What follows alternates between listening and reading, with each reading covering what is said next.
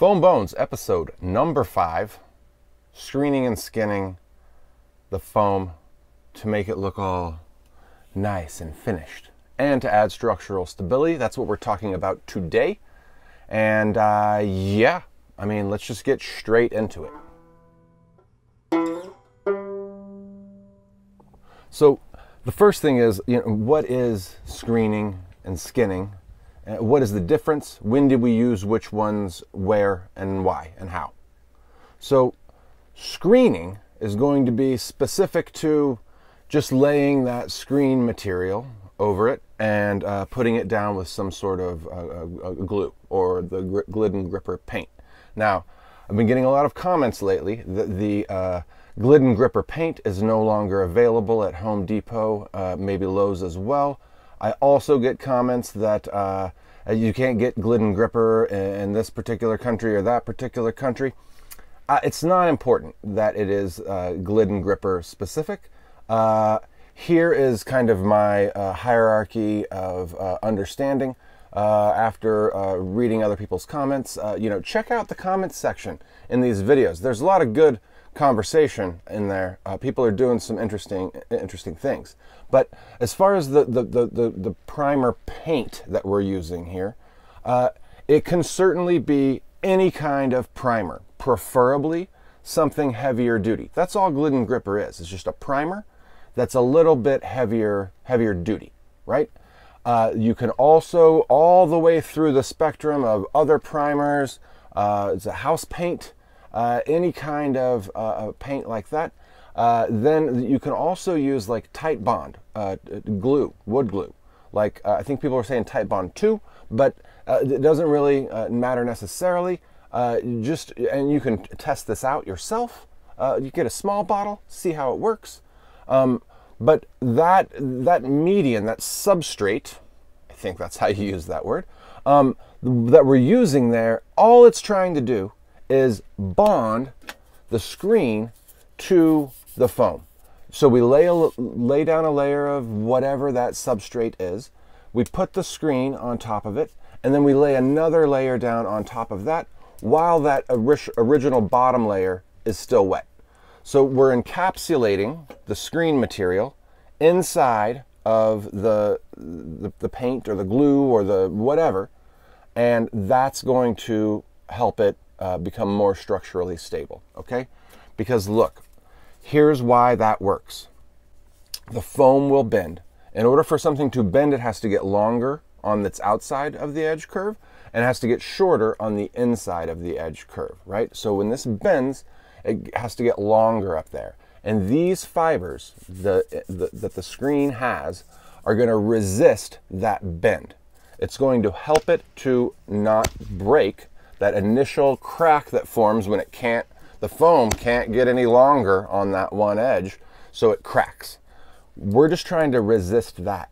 Now, as far as what screen material, I used uh, like uh, fiberglass uh, covered with nylon uh, screen. Um, you could use metal screen, you could use nylon only. I think the fiberglass with the nylon coating is uh, kind of the happy medium, price and strength wise. Um, but look, don't think this is some sort of alchemy that's going on here. This is not a precise prescription or recipe for how to uh, screen this material. Just understand the physics of what's going on. The curvature, when it bends, it wants to break, and we're just trying to add a fibrous layer on the outside of that in case, just to keep it from bending as much. That's it. So as we go through and we're screening, we're just laying that glue, substrate, whatever, down, putting the screen over it. The important thing here, though, is that as we're doing this, we also want to reinforce the joints, the corners, where the two pieces of foam are coming together. So when we're going in there and we're doing those, we want to overlap just an inch or two of screen in like this back corner in these, uh, in these bays here. Where those two pieces of foam come together, I'm overlapping it, right? This is going to make that joint stronger and since all of our joints are connected to one another, it's going to make the build stronger. Wait, stop.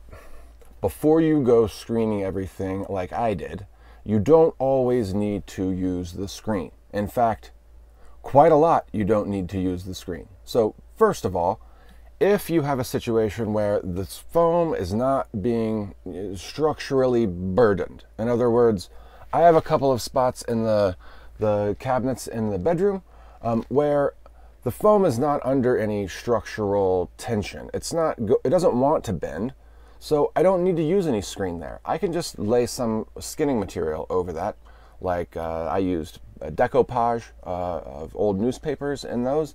Um, but you could use whatever you want. It doesn't need the screen, so you don't have to put it on there.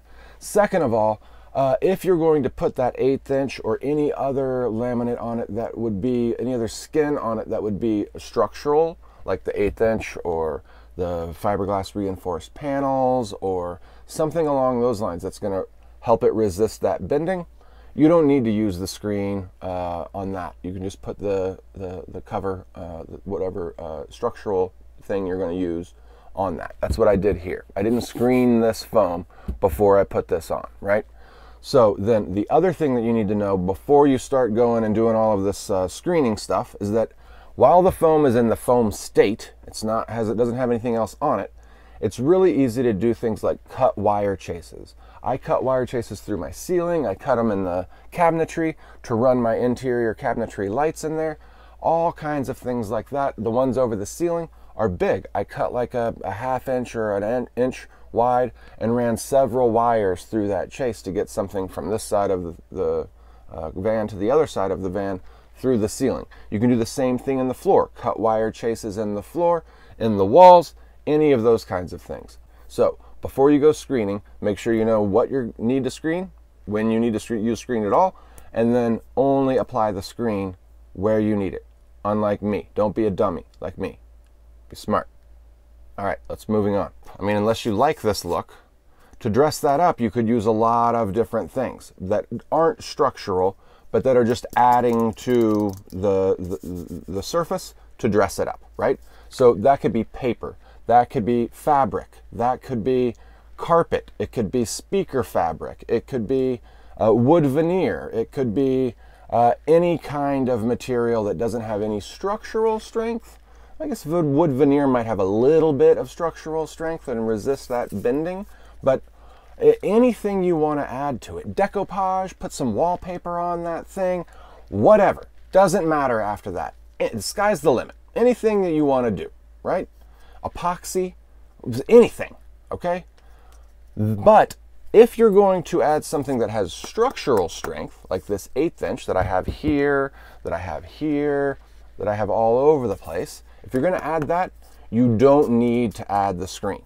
I did in a lot of places add the screen, and then put eighth inch over the top of it. I was experimenting. We've talked about this. And I overbuilt it. I didn't need that extra, the screen and the eighth inch uh, in there. I could have just had the eighth inch on there. Did, didn't need the extra screening, labor or expense in there for that strength. It would have been fine. But I did it.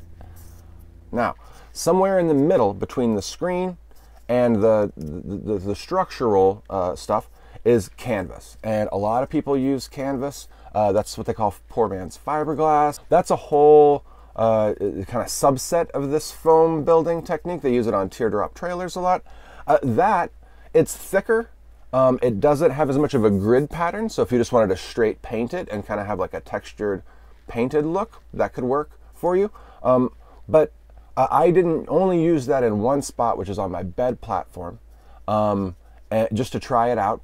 And I, it's harder to work with. You, it takes more paint to saturate that uh, uh, the, the, canvas, um, but uh, that's also an option. So let's get into some of these and and see how I did it with the the, the few uh, materials that I used so the first material that we're going to be uh, using for our structural skins is going to be this quarter inch melamine. This is the plastic cover that I used in my water box area where my water tank and the uh, all the plumbing fixtures and pipes are.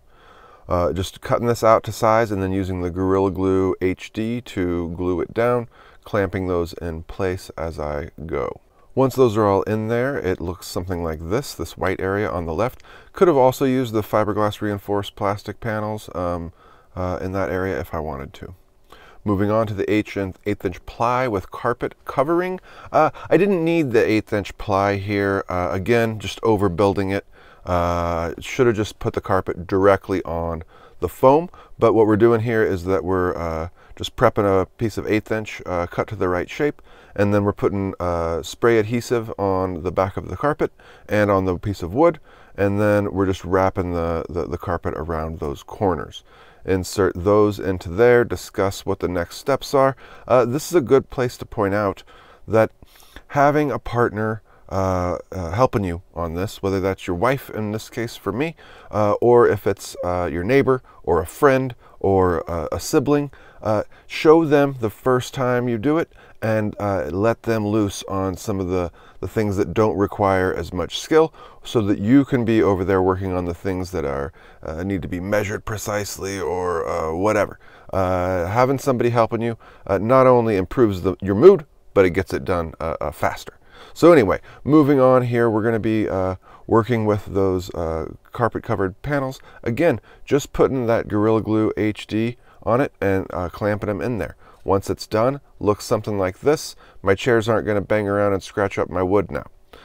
Then we're moving on to this next one. Uh, this is going to just be when we uh, polyurethane them. So this is the eighth inch ply with a little bit of, we use like a hemp citrus uh, uh, oil to bring out the grain. There's a little notch there. We'll talk about that in a minute. Uh, and then we just put a couple of layers of polyurethane over it to keep them from scratching and denting as uh, easily. Again, I showed Kendra how to do the first one. She became an expert at sanding and uh, polyurethaning all of this stuff. So that notch, I cut that out to go around that shelf. Uh, doing this helps build in the structural stability of all of that. All of these little crossbars uh, are specifically, they are the size for and carpeted for all of these different uh, pieces that I wanted to slide in there. These carpeted pieces also act as a, a uh, bridge or a truss to distribute the bed weight more evenly than the garage bay walls would have done by themselves. Next thing that we're going to talk about is the wood veneer. Now, I already shot this and included some of this conversation in a previous video, but I wish I would have used more of the wood veneer. This is in my uh, kind of kitchen slider area entryway. Basically what I've got here is the foam and I've uh, bent it. You can put that veneer on there and it's thin enough. It's like 16th, 32nd of an inch, maybe even less than that. It's gonna be able to bend with the foam, right? By the way, uh, wood veneer, I, I used mostly eighth inch laminate on these surfaces to, so it's foam with just eighth inch over it, right? Uh, I wish I would have done more wood veneer because where I don't need any extra structural strength, I could have done the screen, the foam, then the screen, then the, the veneer like I have on this curved piece down here, okay? Moving up to the pantry, uh, basically here I came to realize that I shouldn't have been screening so much. So what I've done is I've just glued down the eighth inch ply that's been stained and polyurethane uh, on there and then clamped it up. Uh, you know, you can never have too many clamps. That's what I've learned. One thing that you should think about when you're putting in these eighth inch structural plywood pieces is that the way that you assemble those inside of, let's say, a, a cupboard uh, or one of the garage uh, bays that I have back there. We'll use that example.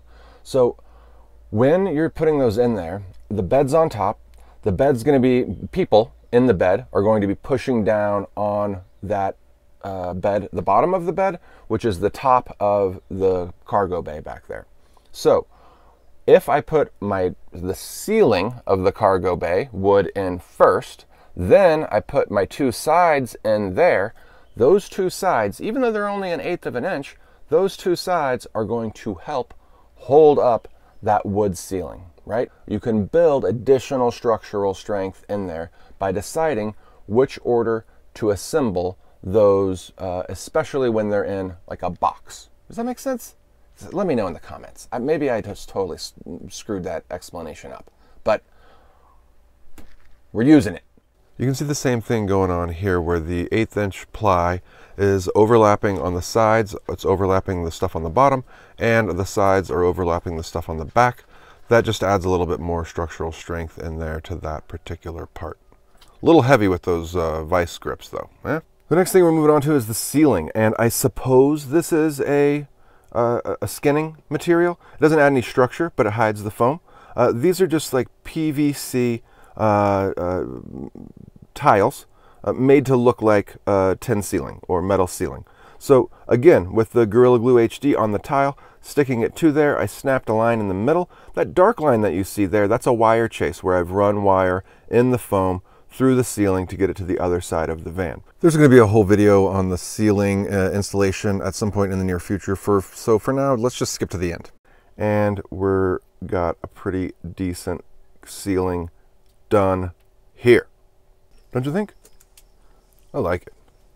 I honestly didn't know if I was going to like this. My, uh, Kendra and I both were like, uh, it might be a little much. Yeah, I do like the ceiling. I like the ceiling. Looks good. Now, as far as screening and skinning goes, I hope you uh, get the idea that it's not a it's not a, a perfect science. There's not I'm not here to give you the exact prescription for how you should screen or skin your uh, build. Depending on the situation, you can use a lot of different things. So uh, hopefully that gives you uh, you know enough ideas on uh, you know the screening and skinning. Um, if I left anything out, put it down in the comments below. Um, this is probably going to be the last foam video for a while. We're going to move on to some other things. Uh, the electrical build is up next. Um, and maybe some planning and uh, the, drawing and uh, modeling uh, for planning your build. Um, we will have another foam specific video uh, Q&A at the very least. Um, but if there's any aspects of the foam build system that I've left out, throw it in the comments section and uh, we'll, we'll address it when we get to the Q&A. Or maybe it'll be something that I've been so stupid to forget that uh, uh we'll have to do another episode uh, on that subject specifically. Um, but let me know. And then, uh, yeah, like, subscribe, all of those things. Look, hey, you guys, thanks so much. Uh, your likes, uh, your subscribes, uh, your watching uh, of the of the previous videos that I've done has really helped the channel out. Uh, I finally feel like maybe me and the algorithm are starting to get along. We might get back together. Who knows? We'll see. But yeah, I'll see you in the next video. And until then, have a good day, okay? We'll see you next time. Oh, wait, are you still there? You should check out some of these other videos that I've done previously or since this video. Check them out. Pretty good. If you like this sort of thing. Where's my beer?